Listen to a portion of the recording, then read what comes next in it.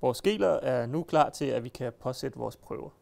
Når I skal til at sætte jeres prøve på, så er den første, I skal sætte på, det er standarden, som I bruger til at evaluere jeres egen oprensede prøver på.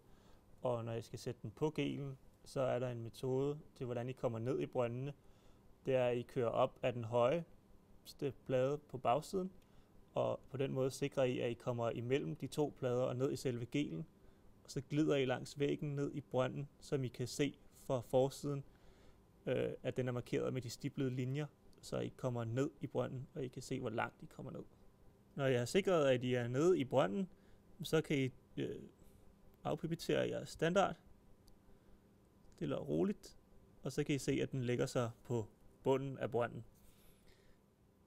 Øh, når jeg har sat standarden på, så skal I så til at sætte jeres egen prøve på i de andre brønde, og husk, at det er særlige spidser, vi bruger til at sætte på øh, gelen, som er ekstra tynde ude i enden, så I kan komme ned i brønden ordentligvis.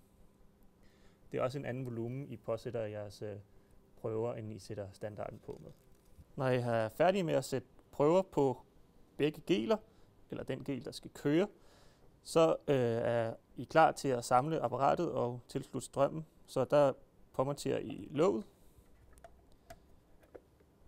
således, og så derefter så er den klar til at blive sluttet til strømforsyningen, så med sådan en fætter. Og der skal I øh, selvfølgelig sørge for, at øh, sort går i sort, og rød går i rød. Og der kan være fire apparater tilsluttet, der er fire kanaler, og øh, hvordan den fungerer, det kan I læse på øvelsesvejledningen, der ligger oven på apparatet. Når det så kører på gelen, så kan I øh, se på, hvor lang øh, farven øh, fra prøverne kører på gelen, og der kan I øh, se, hvornår det er tid til at, at stoppe den igen.